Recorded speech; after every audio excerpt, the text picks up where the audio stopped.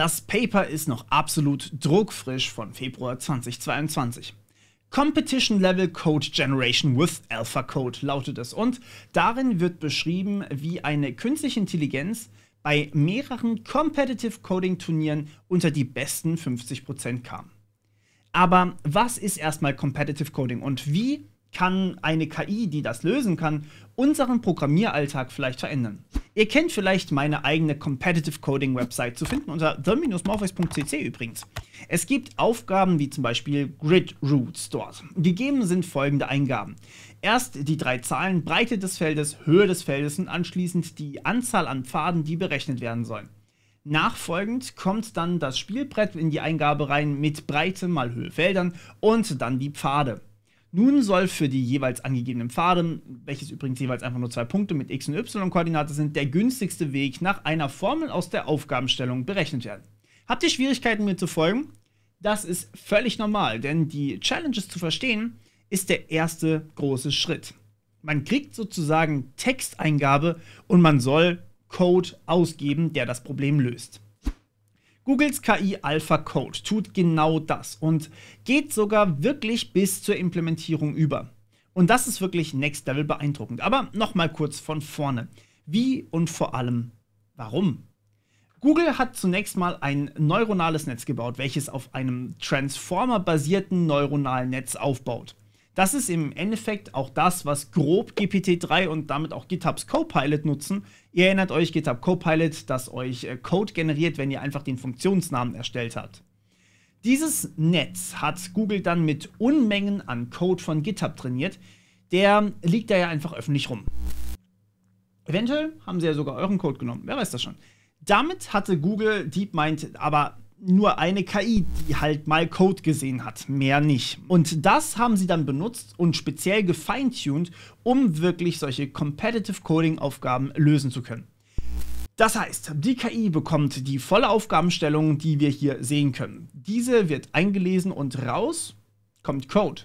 Für diesen Zweck haben die Forscher einen Datensatz erstellt mit Coding-Aufgaben und optimalen Lösungen, die von der KI nachproduziert werden sollten eben in einem erneuten Training, das mehr auf diese Art von Eingabe, also wirklich Texteingabe, gefasst ist.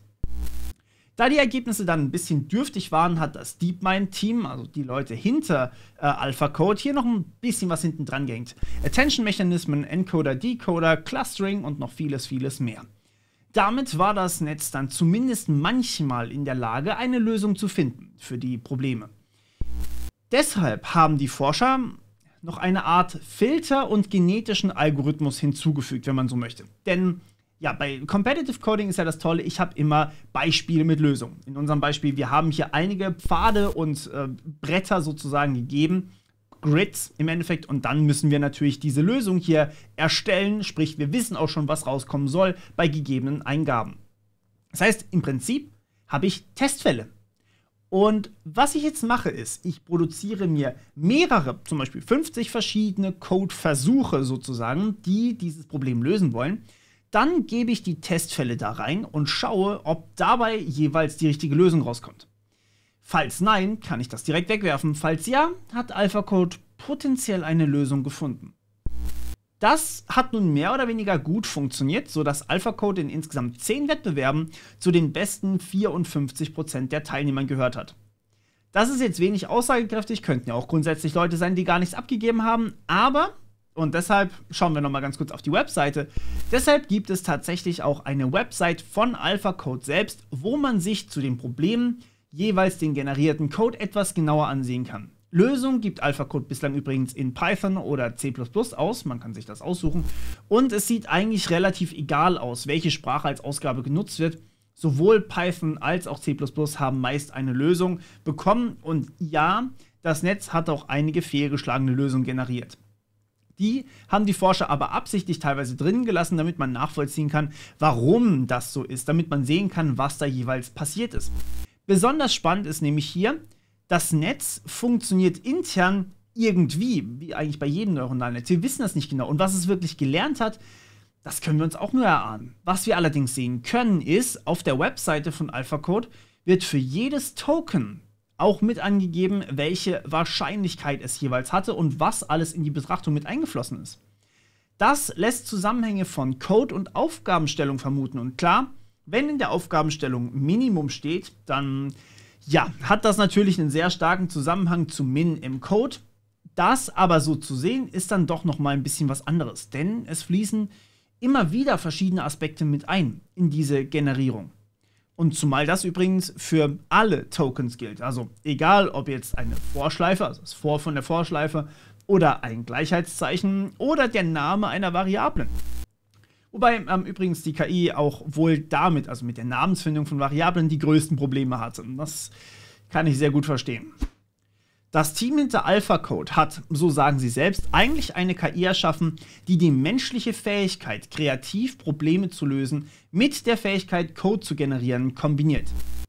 Überlegt man sich das mal, ist das hochgradig beeindruckend. Kreativität bei einer KI, auch wenn das grundsätzlich nicht neu ist, man denke da mal an DeepMinds, zum Beispiel erstes Projekt mit Neural Sign Transfer, wo quasi neue Gemälde entstanden sind.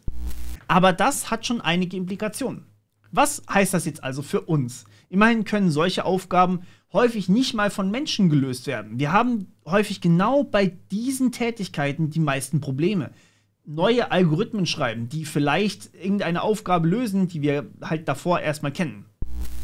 Wird AlphaCode uns also alle ersetzen? Einfach mal so dreist gefragt. Und dazu nehmen wir jetzt erstmal an, eine zukünftige Version von AlphaCode mit Copilot von mir aus vereint, schafft es wirklich soliden und perfekten Code zu schreiben. So lange müssen wir ohnehin noch Debugging betreiben. Was bleibt uns also noch, wenn das wirklich passieren sollte? Naja, das ist ja genau der Trend. Wir haben es ja schon gehört. Wir wollen immer mehr weg vom Low-Level-Coding, immer mehr hin zur Softwareentwicklung. Wer definiert denn für AlphaCode die Probleme? Wer liefert die Tests, um AlphaCode oder Copilot zu sagen, ob ihre Lösung gerade gut ist oder nicht? Und selbst wenn wir das gemacht haben, haben wir immer noch eine extrem wichtige Aufgabe. Der Code wird vielleicht von selbst geschrieben, No-Code, das kennen wir ja schon, kein Thema. Aber wer hält diese ganzen Algorithmen eigentlich zusammen? Das ist Softwareentwicklung. Es gibt jetzt schon haufenweise Bibliotheken, die haufenweise Code enthalten. Aber zusammenpuzzeln müssen wir es immer noch selber. Man hält also alles zusammen, man definiert, was wo nötig ist und baut sich ein großes Stück Software, das dann am Ende auch gut und stabil läuft, weil alles überall wirklich solide getestet wurde. No-Code bzw. Low-Code ist eine extreme, wahnsinnig wichtige Entwicklung eigentlich auch, die ja nicht gerade erst aufkommt. Es gibt zahlreiche Editoren, wo man schon jetzt sein Frontend einfach zusammenschieben kann, sozusagen, per Drag and Drop. Und danach sieht halt alles so aus, wie wir es uns vorstellen. Und erst dann geht man in den Code über, wo man dann wirklich Funktionalitäten, wenn man auf diesen Button drückt, passiert folgendes, verwaltet und schreibt.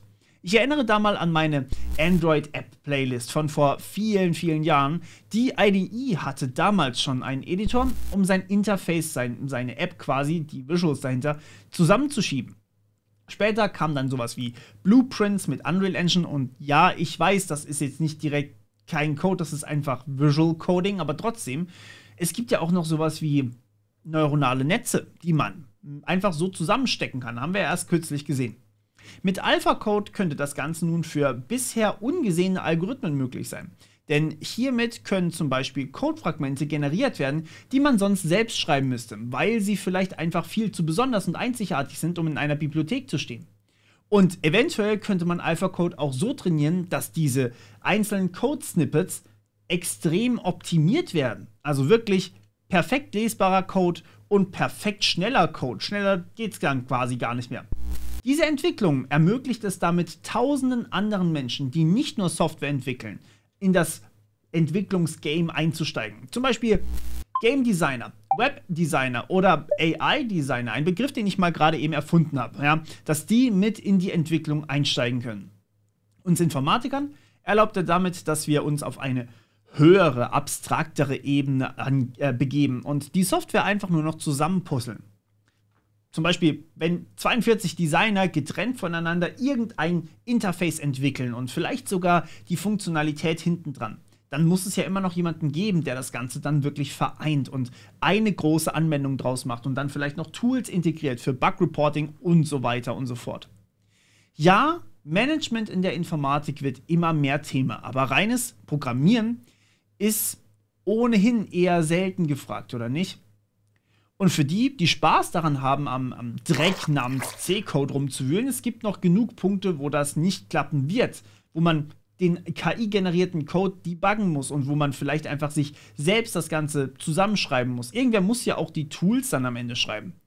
Daher keine Sorge, ihr habt noch mehr als genug zu tun. Im Gegenteil, ich glaube, wir können froh sein, dass uns eine KI bei der Arbeit ein bisschen hilft. Ähnlich wie Ärzte über technische Unterstützung froh sein können und froh sind auch. In dem Sinne wünsche ich euch viel Spaß beim Ausprobieren und bis zum nächsten Mal.